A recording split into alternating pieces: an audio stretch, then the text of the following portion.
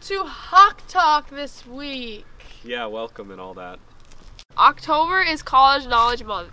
Seniors, besides working on It's Your Future, you will be working on applying to multiple colleges or tech schools. Students, your teachers will be sharing their own higher education journeys this month as well.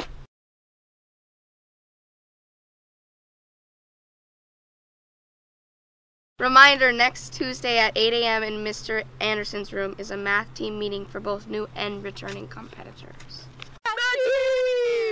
Mathletes over athletes. Last call for any juniors interested in PSAT testing next Wednesday morning, October 16th. Contact your counselor ASAP with any questions or to sign up. Tomorrow is the first It's Your Future of the school year.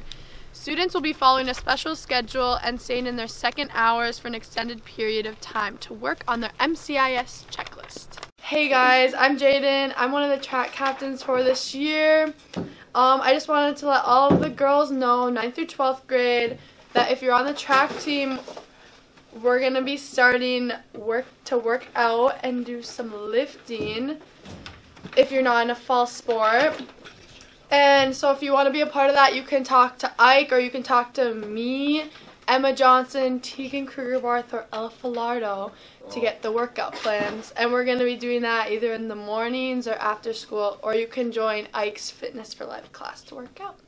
Have a good day. Hey guys, it's Ella with Indian Education. I just wanted to let you know we have a trip coming up in November. We're going to be going to Itasca Community College for Anishinaabe Career Day. You'll get to explore different career options and we'll have fry bread tacos for lunch that day. So if you would like a permission slip, please come see me in room 1490. The trip is going to be on November 19th and permission slips will be due on November 8th. Thanks guys. Hey guys, Green Team is hosting a costume swap and all this week we're collecting costumes from the elementary school and you can drop off one of your older costumes in this box in the office. And then on Saturday, you can pick up a free recycled costume from 9 to noon in the high school lobby. Gracias! Hi, Mr. Van Drunen here with one quick announcement. Rapids Rising is hosting a photo contest where you are going to show them the good in the community. So you're going to be posting photos of your friends, your teams, your family, your favorite places, and more with the hashtag good in GR to be eligible to win. The contest is open Monday, October 14th and closes Friday, October 18th. First place will win a $200 gift card of their choice. Second place, 100 and third place, 50.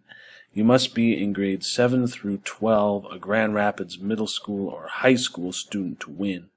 Again, posting photos of the good that you see in our community using the hashtag GoodInGR to win.